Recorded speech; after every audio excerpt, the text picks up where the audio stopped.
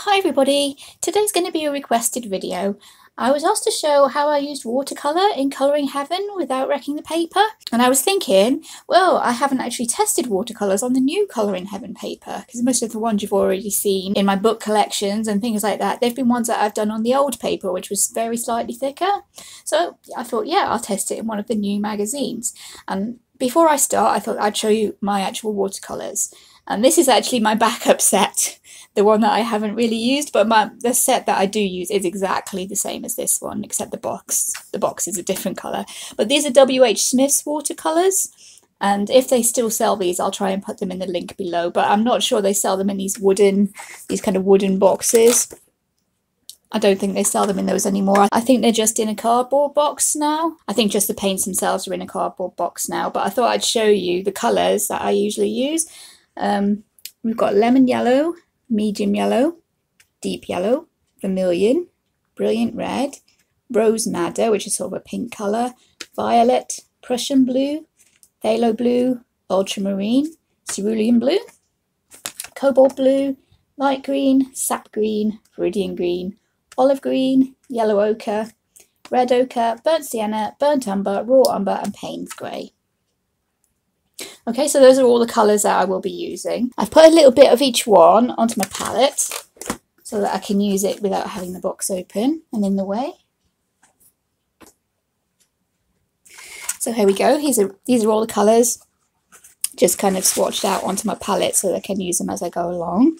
Um, I probably won't be able to tell you which colour I'm actually using at each time because I can't remember all the names, but I'll try and leave that there so you can see what I'm actually doing and this is the page that I started working on this morning just to test out how the watercolours did work on this new paper. And fairly well to be honest the paper has wrinkled but you're pretty much always going to get that unless you're using actual watercolour paper. And this one is from Colouring Heaven. Little Cutie Special which is one of the fairly recent ones. It's not the actual newest but it's one of the fairly recent ones. And I went for this lady here now, she doesn't fit in with my monthly theme of crystals and gems because all the ones I found and picked out to go with that theme, they're in older issues and I wanted to test the newer paper. So I've picked this lady to start with. And the main reason I picked her is because she was giving me kind of Christine Karron sort of vibes. And you may notice with all those paints that I've just showed you that I'm going to be using, there is no flesh tone, skin tone in there. And we all know that Christine Karron tends to use the bright colours like unnatural kind of skin tones like these and I thought they might fit fit in quite well with this lady and give me a chance to be a bit more um, have a bit more fun be a bit more playful experimental with it. And this is how far I came this morning. And the paper is coping fairly well to be honest with you. There's a couple of areas where it started pilling and pilling is where the paper starts kind of getting torn up and little kind of dots keep coming through. Um, and you can see it in your painting. And these areas are where I really did try to use as much water as it possibly could. So this is kind of deliberately too wet. And that's why the paint is um, kind of a little bit spotty and the paper's starting to peel there. But apart from that, it seemed to work quite well. So I'll go ahead and I'll start showing you how I was doing this. I'll I figured for a tutorial I'd maybe work on a face and uh, show you a couple of techniques there, how I was using it. And uh, yeah, if if the tablet holds out. I'm not sure it will, but if it holds out, I will do the rest of it and kind of have it as a speed paint, speed color, or some sort of time lapse. But if not, it will just be a tutorial of me working on her face. And I figure either way, either way, I can get a video out for you guys to show you how I've been doing this. So here we go. Okay, so I'll start with her face. I'll start by just working on her cheeks a little bit with the Rose Madder. That's the pinky kind of colour, which was this one. And I'm not making the paint too watery. I'm just kind of dissolving enough to get a good brush full and I'm not really going totally mad with my water. And I'll just start with doing her cheeks here. Trying to leave my usual kind of highlight along the edge of the jawline.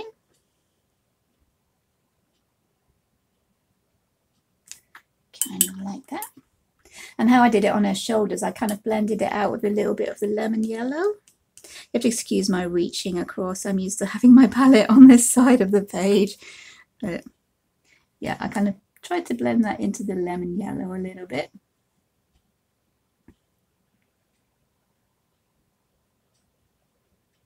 So you can work a little bit with damp colours next to each other. You can work a little bit like that without them going really crazy and pilling the paper. But if you put too many wet layers on top of each other, I've found that that's when this this newish paper starts to get a little bit angry with you, a little bit grumpy with you for doing that. Um, all right, we're going into the light green now.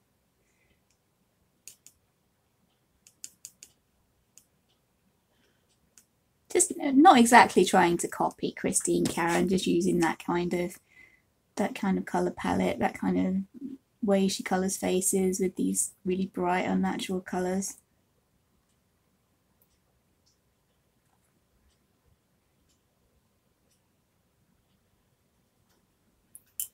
you can blend, blend out your edges a little bit, just that was a very little bit too much water actually.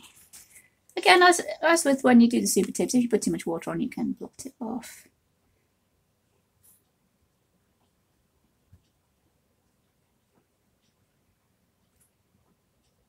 Go and I'll take this green down around the chin try and give a bit of a a bit of an indication of a chin there we don't want it to be super, super obvious.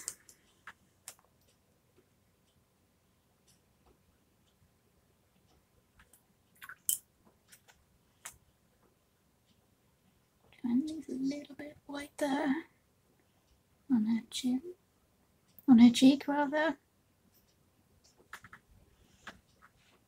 I don't want to work too much into that while it's still damp, otherwise the paper will start getting a bit funny. So I'll move over to the other side of her nose. Coming down there with my shadow, and I've decided that my light would be coming my usual way from the top right or the side of the right hand side. So this side would be more in the shadow.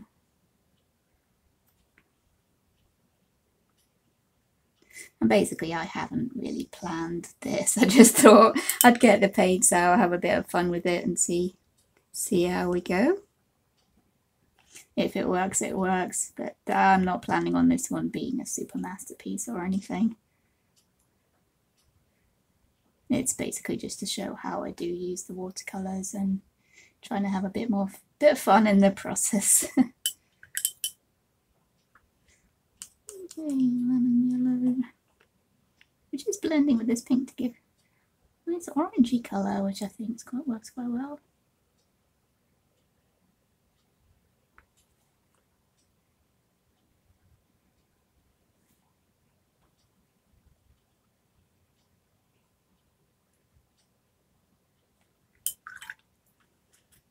Gonna bring in that. Oh, bit of green there bringing in this light green, yellow green I think this one was called.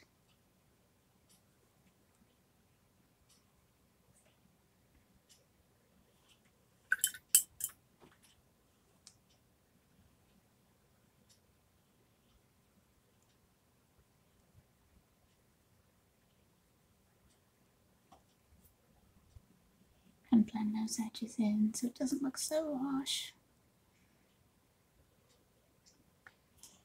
Try not to really scrub into the paper. Be very gentle because if you do scrub into the paper, that's going to start the paper getting torn up and pilling. Those blend into each other. Make sure these edges are wet here because I'm going to add a little bit of the yellow onto her chin.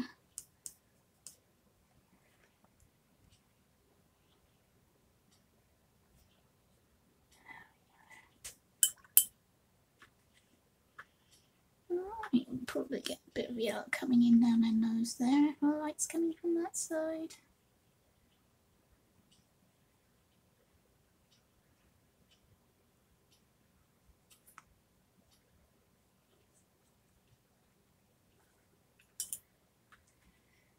Try and blend into that green. But again, I don't want to overwork the paper. I don't want to add too much water. I don't want to scrub into the paper too much. I just want to try and get a better kind of blend going on on those colours.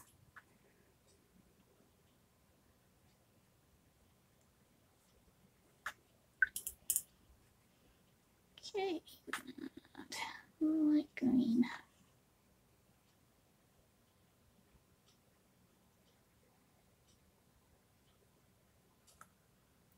Yeah, just have her face there. Into the middle of the forehead with the yellow.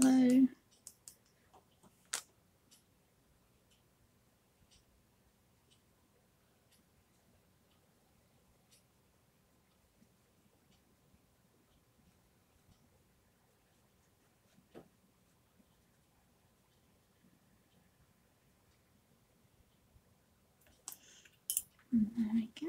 I'm trying to add a little yellow there on her eyelid.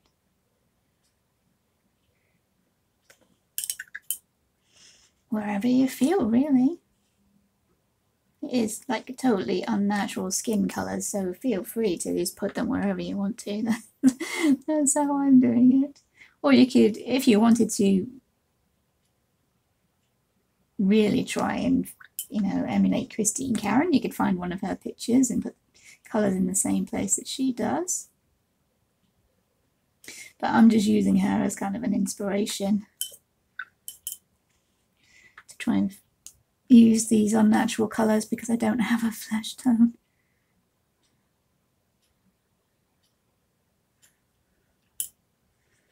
Pink along the side of her, her eyebrow, that worked quite well, so I'll do that on the other side.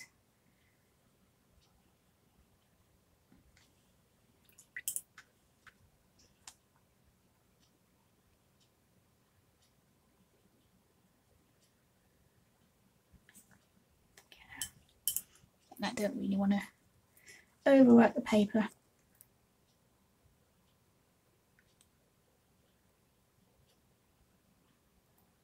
You'll notice I have got newspaper down behind my book here. That's because I do tend to get a little bit messy when I'm when I'm watercolouring. I end up with drips everywhere. So if there's none on this picture by the time I've finished, then then I'll be considering it a that'll be a bonus. Okay, this is the Viridian Green. Into there while it's still bit damp.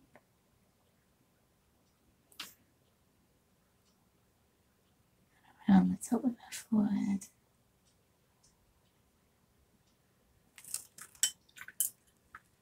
That's how I did my shadows down here and then over the top of that. Once it had dried, I went over with the purple to give a more harsher line. There's, there's basically two main techniques when you're using watercolors. You can either use wet colors either on top of each other or next to each other.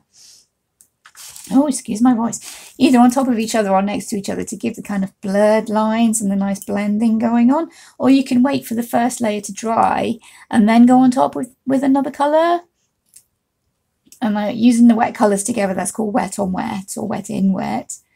And using the, the colour on top of one that's already dried, like this, that would be fairly dry. That's wet on dry. And you can leave it like that. You can leave that, that line there like that, that shadow line, if you want, or you can you can blend it out a bit with a little bit of water. Just as I said, we're being really careful with our water. This paper does not take super kindly to it. It will work okay, but it's not made for watercolour, obviously, so we're being really, really quite careful with our water.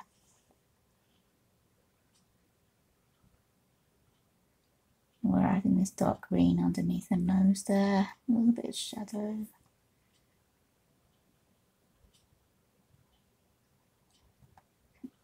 On that side, but that's where our shadowy side is anyway.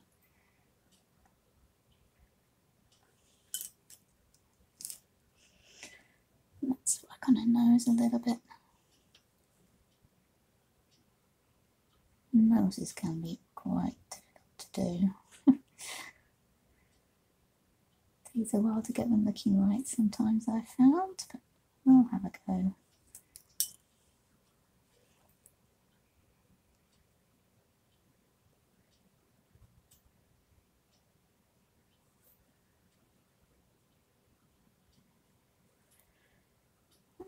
Go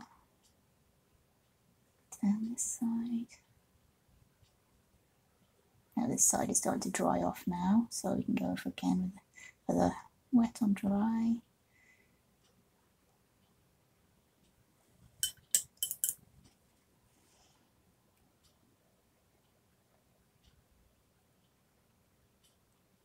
If you see any little dots starting to come through, that probably means that you've added a little bit too much water, a few too many wet layers on top of each other, so just leave that area for a little while, come back to it.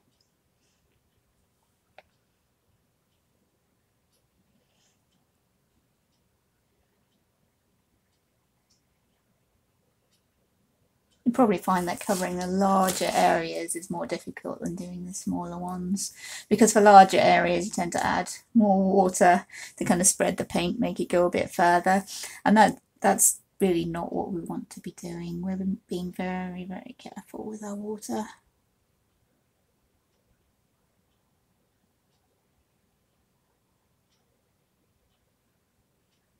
Can layer. The main idea of watercolours is layering usually, so we can go in with a few layers.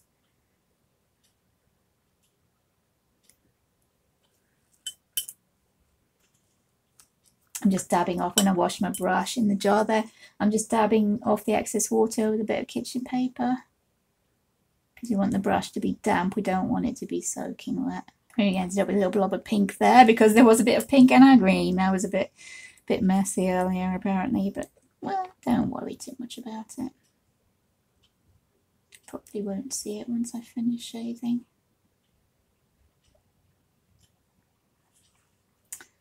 Okay, probably have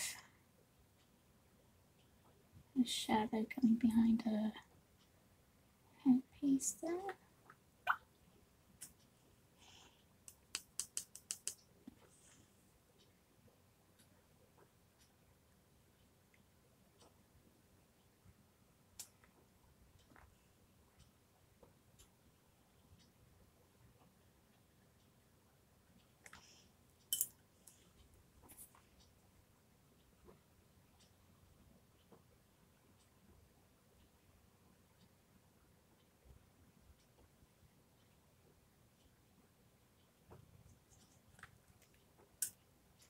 A little bit pink on the edge of her nose, I think.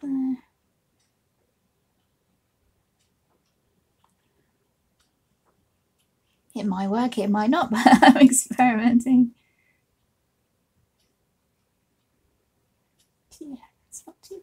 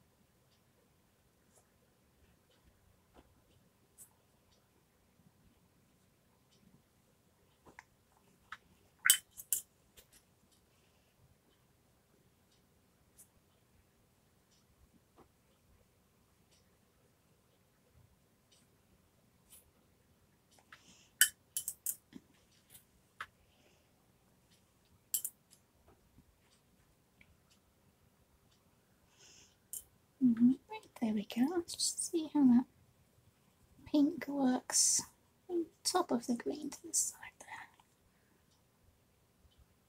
Should hopefully make a more purpley, darker colour.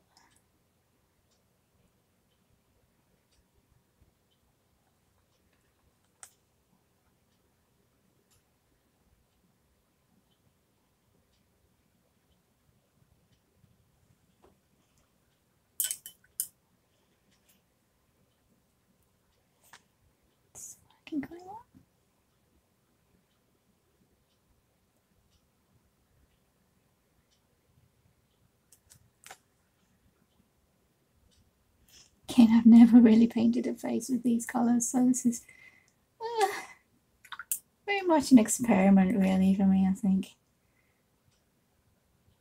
We're just seeing how this turns out. But again, I'm not expecting this to be any kind of a masterpiece.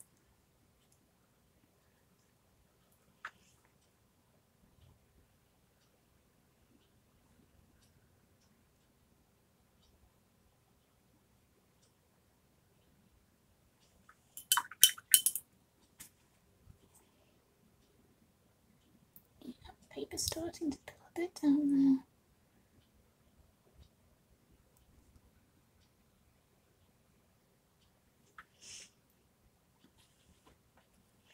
We can conceal that by shading on top with pencils. I did shade on top of here and here with the black and the white polychromos just because they're on my desk or on the table and yeah, just thought I'd use those while they were there. I'll just to do their lips there while we're waiting for her face to dry.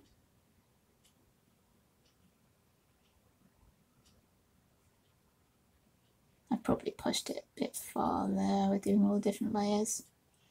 Paper's holding up though. But I think I'd better leave it for a little while before I try anything else.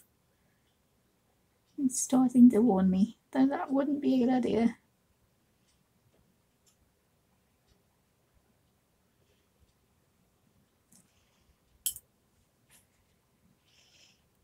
Let's take purple maybe.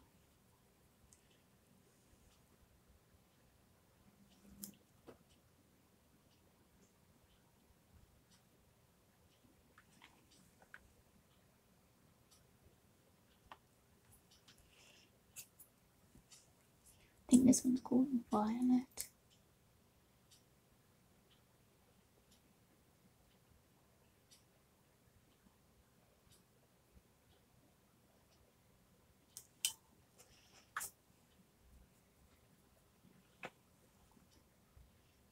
Using the paint fairly thick here.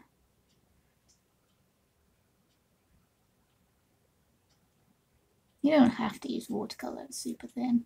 But that's what it was designed for. It was designed to be thin with lots of little layers going on. So it was made to be used that way, but you don't have to.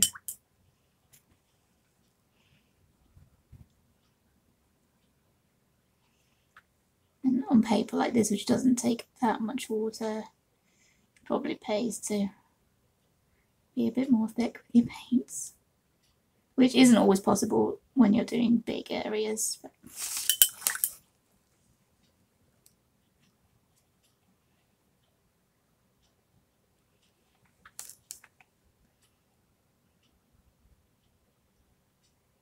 The shadows down here on this shoulder I did with the purple after I'd done all the other layers. And then I did shade a little bit on top with the, the pencil, polychromos pencil.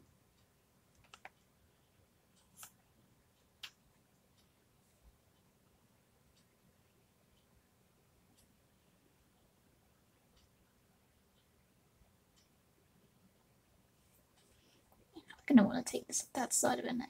Quite deep shadow. The shadow underneath the headband there with purple. Reinforcing it on this side. We're going to take this eye into quite a deep shadow, so I'll add some purple on the left side of the nose.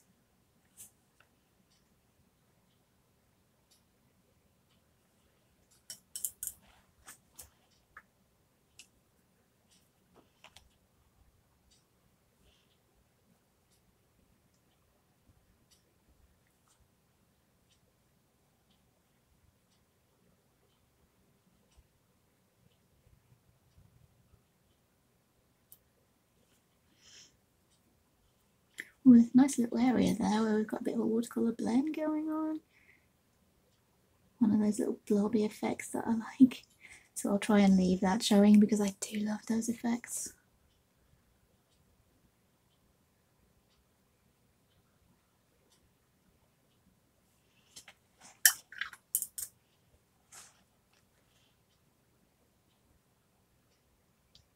Just try and soften those lines in the cheek there going with a bit more pink, I think. Again, leaving that little blended area because I do love those effects.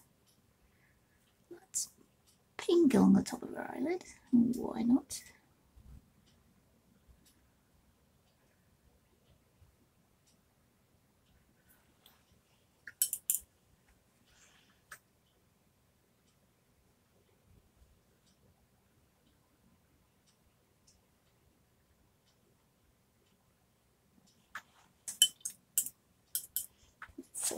quite well for a face. I think I might bring, yeah, need to work on her nose a little bit, I think. I'll bring the pink in there.